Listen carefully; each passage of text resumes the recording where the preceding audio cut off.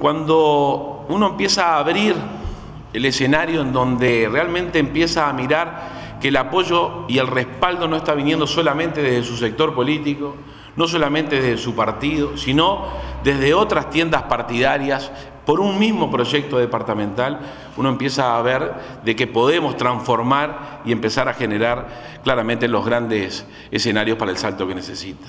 Y que también cuando salen todos de su comodidad o de su confort para participar de una campaña electoral, una cosa era Rodrigo Albernaz, el diputado en su casa, y otra cosa es a partir de este instante que le está anunciando asalto, que sale a no quedarse en la casa, que sale a tomar partido, que sale a jugarse para que ganemos el 27 de septiembre, lo que nos da también más responsabilidad para todo lo que se viene y también nos fortalece fuertemente el equipo. Fuertemente el equipo, un antes y un después y un gran impulso. A las 30 listas que están haciendo todo el esfuerzo a los 27 candidatos, ayer 28 con la suma de Navarro, Enrique Navarro en Rincón de Valentín, 28 candidatos a alcalde, 30 listas, el esfuerzo que están haciendo también los candidatos Félix y Leal con el resto de las listas del partido.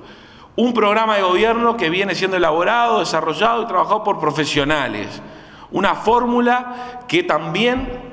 tiene las características de la aparición pública en una actividad de estas características como la de Nicolás Santana, de Eduardo Minuti con todo lo que significa en la historia, con lo que es Lisita Maquiavelo también desde el sector privado y como primera mujer presidenta del centro comercial y el mayor retirado Sergio Acuña. Y estar sentado acá, los tres representantes electos de la coalición nacional a nivel en, su condición de salteño. Los tres que allá en Montevideo no vamos a dejar de hacer lo que tenemos que hacer por el país, por los grandes cambios,